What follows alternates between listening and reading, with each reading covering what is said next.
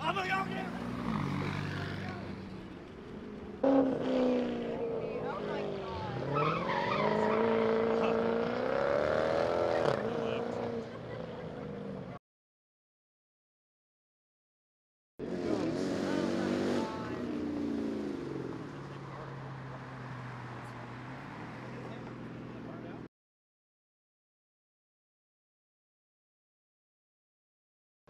Dude, how stupid do you have to be to come back?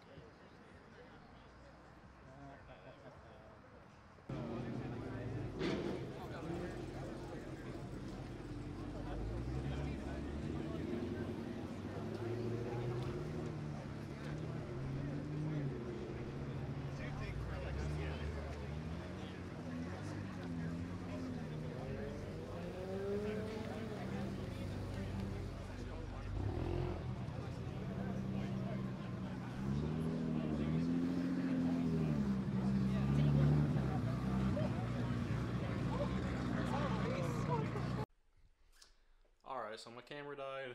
Um, craziest part about this whole thing was the dude got let off. I'm sure he got a ticket or something, but yeah, he was dumb enough to do the burnout and then run away from the event organizers. And then he passed by uh, two police officers and ran away from them and then came back to the two cops and got pulled into the meet so they could, you know, do everything. So they pulled everyone out of the car. I think there was four people in it. Searched the car, and then two more police officers showed up, and then he was able to go. I thought for sure he was getting impounded or something, but anyway, uh, this is my little warning or whatever to the uh, takeover people. If you're doing that stuff at these car meets, just leave. No one wants you there because you're ruining them. They're gonna take away those meets for good.